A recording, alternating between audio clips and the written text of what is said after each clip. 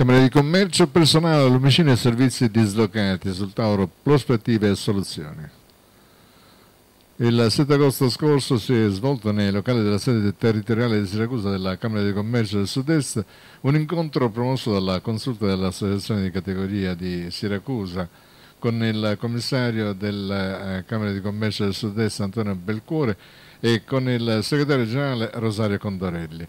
Tema dell'incontro è stato l'assetto organizzativo, la quantità e qualità dei servizi forniti dalla sede territoriale di Siracusa e le prospettive di soluzione delle tematiche rilevate. In apertura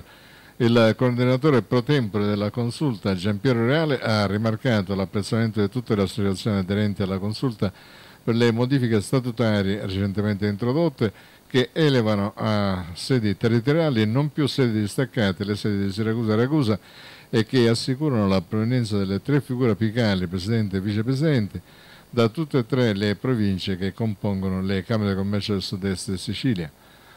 Il coordinatore della consulta ha quindi posto sul tavolo la condizione corrente che vede nella sede di Siracusa la presenza ormai di soli cinque dipendenti che, seppur appoggiandosi anche agli uffici di Catania e Ragusa, non riescono a evadere nei tempi di attesa le pratiche presentate.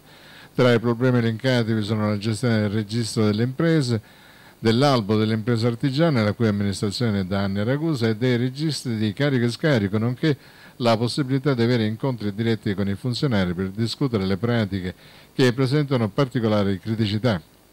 Il commissario Belcuore ha ringraziato per l'iniziativa dell'incontro, ribadendo la disponibilità dell'ente al confronto e illustrato il contesto che blocca la possibilità di sostituire il personale che lascia per raggiunti limiti di età alla Camera di Commercio a causa della norma legata all'invariabilità dei saldi. Riferisce che il governo regionale sta però lavorando per la soluzione dell'annoso problema della spesa pensionistica della Camera di Commercio siciliane, soluzione che potrebbe liberare ingenti risorse oggi accantonate dalle Camere di Commercio siciliane per il pagamento delle pensioni in luglio 2024. Infatti è stata annunciata dall'assessore Tamaio una norma specifica a tal fine che dovrebbe essere presentata a breve.